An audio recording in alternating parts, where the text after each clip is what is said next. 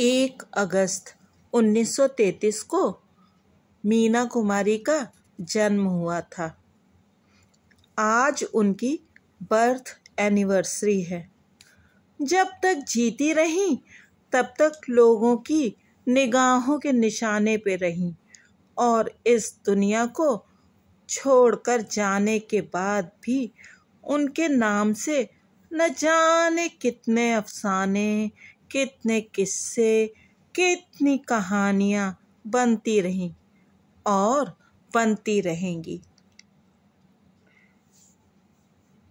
लोग दूसरों के लिए जितने जजमेंटल होते हैं, अगर उसका फिफ्टी परसेंट खुद के लिए हो जाए तो ये दुनिया जन्नत बन जाए।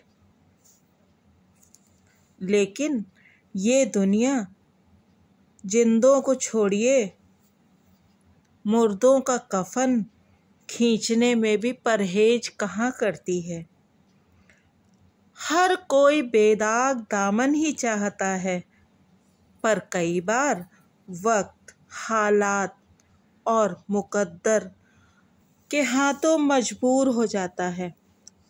और फिर अपनी बेगुनाही की गवाही किस किस को देता फिरे? लोग तो वही देखते हैं, जो वो देखना चाहते हैं। वही सोचते हैं, जो सोचना चाहते हैं। मुझे लगता है, ऐसा ही कुछ हुआ मीना जी के साथ। उन्हें देखकर मुझे तो ये लगता है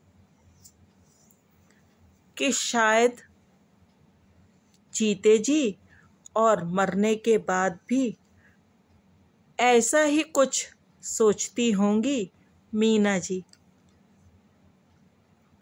नहीं, मेरे पास कुछ भी नहीं। न फूल, न कलियाँ, न कोई ख्वाब। न कांटों में घसीटो यूँ मेरा दामन।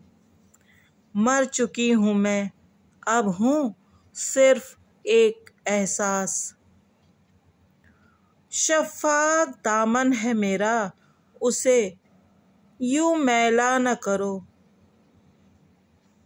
जमाना हंसता रहे मुझ पर, मुझे यूँ रुसवा न करो। बहुत मजबूर हूँ मैं, मुझ पर तरस खाओ। सो गई हूँ मैं हमेशा के लिए। मुझे नींदे सुकून से अब ना जगाओ। तो सुकून की नींद सोती मीना कुमारी के? अभी भी किस्से, कहानियाँ तरह तरह की बातें लोग उनके बारे में करते रहते हैं। पर मुझे तो लगता है कि अब उन्हें सुकून से सोते रहने देना चाहिए।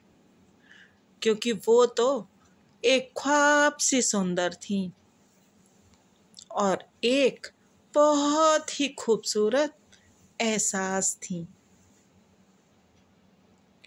उनकी बर्थ एनिवर्सरी पर हम सभी उनके सुकून के लिए बस केवल दुआ कर सकते हैं। हमारी यादों में हमेशा रहेंगी मीना कुमारी।